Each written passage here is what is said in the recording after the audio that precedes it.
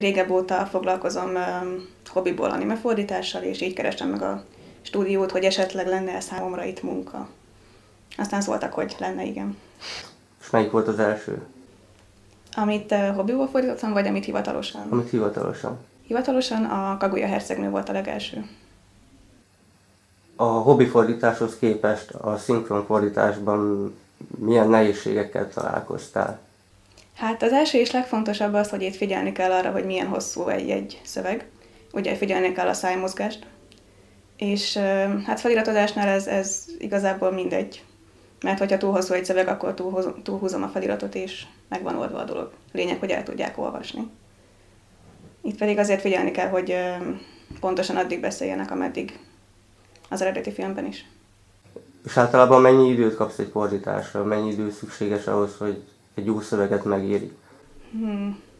Hát mondjuk egy másfél órás film esetében egy ilyen négy-öt nap kell hozzá. Azt úgy, úgy kell képzelni, hogy reggeltől estig? Hát nem, én mellette még iskolába is járok.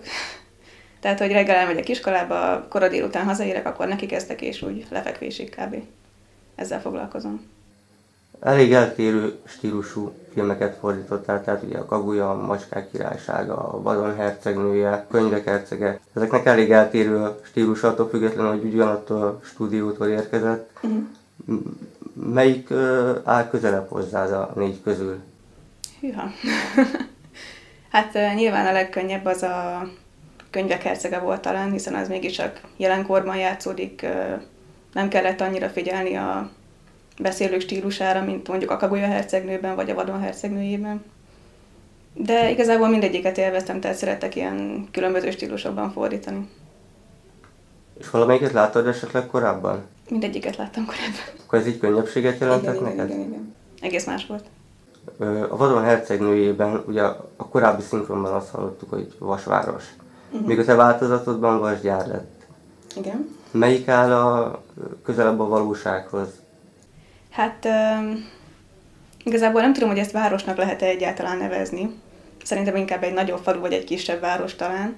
De hát a japán szinkronban nem mondanak várost, úgyhogy ezért fordítottam inkább vasgyárnak. Illetve, hogy ne ragaszkodjunk annyira a régiekhez, kicsit így eltérőbb legyen. A középkori nyelvezet az megnehezítette a dolgodat? Elég. hát nem volt könnyű. Ugye mégsem akkor élek, de Hát sok könyvet olvasok, sok filmet nézek úgy, hogy valamennyire mégiscsak sikerült megoldani.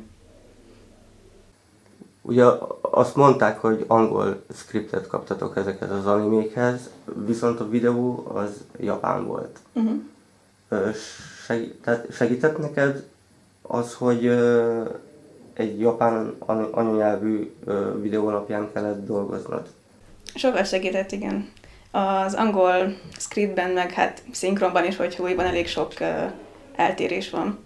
Tehát én azt mondom, hogy a japán és a magyar nyelv is alkalmas arra, hogy a beszélők hát társadalmi hovatartozását kifejezzék egymáshoz képest. Az angol erre annyira nem képes, mint ez a két nyelv. Így, hogyha valaki megérti, hogy Japánban ez hogy áll, akkor magyarba is teljesen jól át tudja ültetni. Még hogyha csak az angol van meg neki, hogy, hogy csak azt érti, akkor már más a helyzet a Miyazaki filmekben mindig vannak apró kis utalások, amik lehet, hogy csak a japánok értenek, ezt hogyan lehet átültetni a magyarba? Á- át lehet egyáltalán? Hát nem mindig. Nem mindig. Van, hogy valami magyar megfelelőt kell rá találni. Lényeg, hogy élvezhető legyen a végeredmény. És szerinted ezek a Ghibli filmek melyik korosztálynak szólnak? Fúha.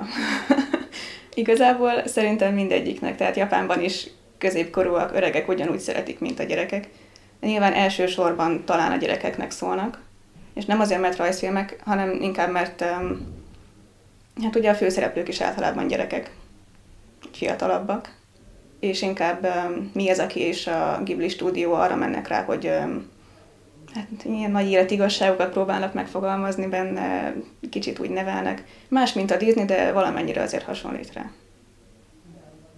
Az animékért rajongó nézők között sokszor van vita, hogy egy szinkronban le kell fordítani a japán kifejezéseket. Uh-huh.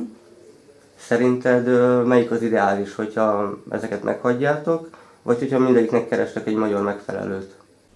Hát um, Normál esetben, hogyha van rá jó magyar megfelelő, akkor inkább érdemes szerintem lefordítani.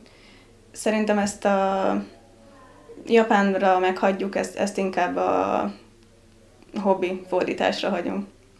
Tehát ott azért olyanok vannak, olyan a közönség is, akik ezeket jobban megértik. A szinkron pedig nem csak nekik készül. Remélem, hogy még a közeljövőben lesz alkalmat fordítani japán rajzfilmeket. Én is remélem. Köszönöm.